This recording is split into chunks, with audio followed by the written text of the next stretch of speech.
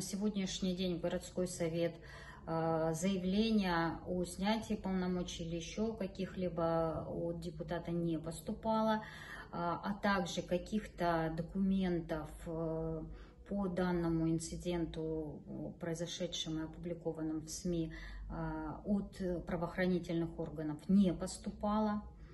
В городской совет, ни запросов, ни информации, ничего.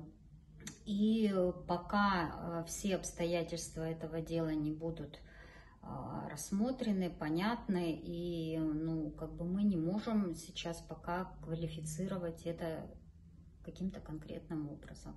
Ну а где-то, может быть, на комиссии по этике или как, ну, там, я не знаю, где-то на другом каком-то совещании, на отдельной закрытой встрече в принципе, будет вот обсуждаться этот ну, вопрос? Все-таки уголовное это дело есть? У нас первое только вот э, вышли депутаты, вы видели, что всего 13 человек, многие находятся, в том числе председатель комиссии по законности, а, в тех вопросах, э, еще и в отпуске. Я думаю, что а, через вот определенное время, неделю, может быть, э, мы примем решение. И самое главное, что на сегодняшний день мы, когда будут понятны обстоятельства этих, э, этого дела, э, тогда только мы можем какие-то решения принимать. Ну, вы видели сами это видео?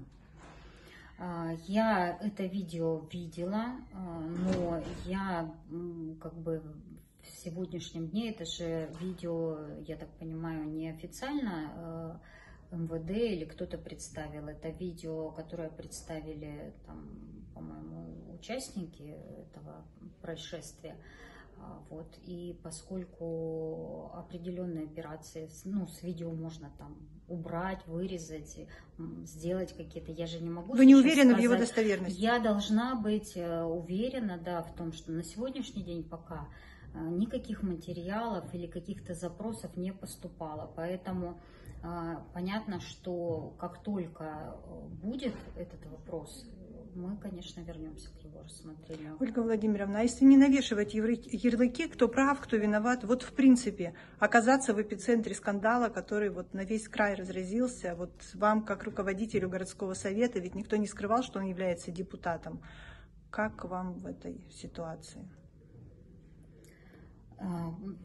Понятно, что я думаю, что и самому депутату, и Назаровскому городскому совету эта ситуация очень неприятна.